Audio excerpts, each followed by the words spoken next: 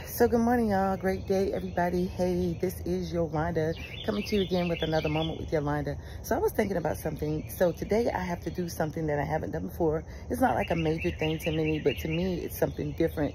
And I have to thrust my way into it and figure this uh, thing out, right?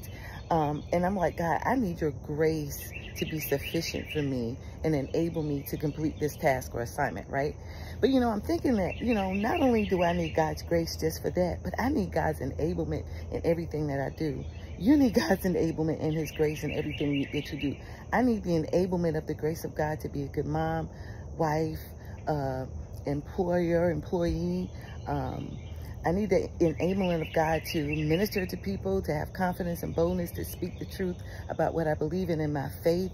I need the enablement and the grace of God to um, walk in uh, the statue and the favor of God. I need God's grace to help me continue to deny this flesh, right? I need God's, God's grace to uh, live this life on a daily, right? To help me in all of my assignments, to help me um, when I go to the doctor, when I'm at the gym, when I'm in the grocery store, in the neighborhood, when I'm communicating with my neighbors, when I'm ministering or talking to someone that, needs um, something in their life. God, I, I need God's grace, rather. I need his enablement. You need God's enablement. So join me today in praying the prayer of enablement and grace to be sufficient in your life when you feel like you don't know to how to, how to really complete or to walk in um, the assignment that God has given you. Not quite sure how to do it, or maybe you think you know how to do it. Maybe you still need God's enablement and his grace to help you fulfill that assignment. So